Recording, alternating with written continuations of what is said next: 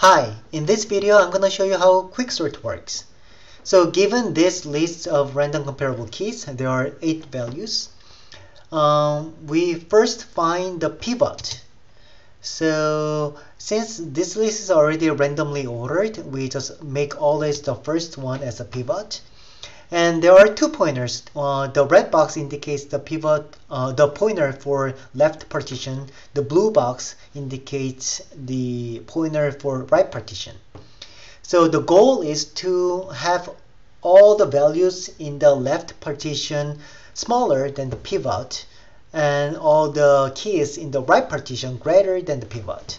So we the left box now try to find some keys that are greater than the pivot so you just keep moving on until you find one and luckily you find right away seven. And the blue box now try to find any key that's actually um, smaller than the pivot so you find one.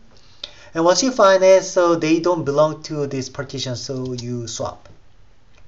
And you do keep doing this again so the red box now try to find something greater so four you stop and now you actually, uh, the right partition, if the blue box try to find some value that's actually smaller than the 3, which is the pivot, you have to go all the way to 1.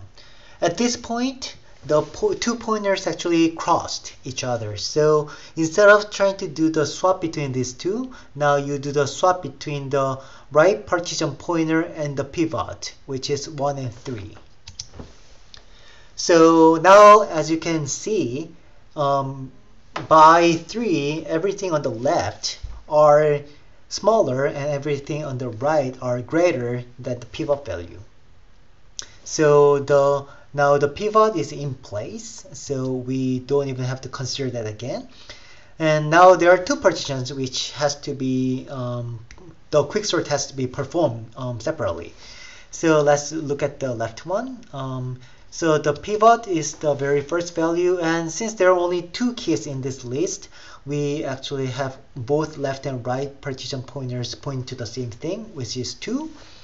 And the only thing you can do here is just making it crossed. At this point, the right partition is pointing to 1, which is also the pivot, and even if you do the swap, it's the same thing, so nothing happens. Okay, let's move on to the right one. Um, the 4 is the pivot, and 6 and 5 are the pointers.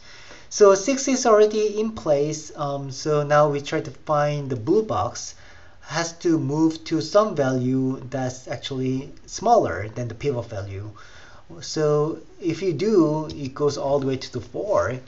And again, now the since it across, you try to swap between the pivot and the right um, partition pointer, which is a blue box. And when you do the swap, uh, nothing happens. So in this layer, nothing really happens, except now you found two more um, pivots that are in place. Okay, so you still have two um, lists that you have to work, uh, but the first one has only one item, so there's nothing has to be done. The second one actually now has four items, so um, 6 is the pivot, 8 and 5 are the pointers. So eight, uh, you the red box you have to find some value that's actually greater, which is uh, is already found, and the blue box has to find something that's smaller than the pivot, which is already found. So in this case, since the uh, pointers didn't cross, uh, you do the swap, and now you try to move on. And at this point, the pointers do cross each other. So um, now you try to do the swap between the pivot and the right partition pointer which is 5 and 6 and once you do that you're done and you have a list in ascending order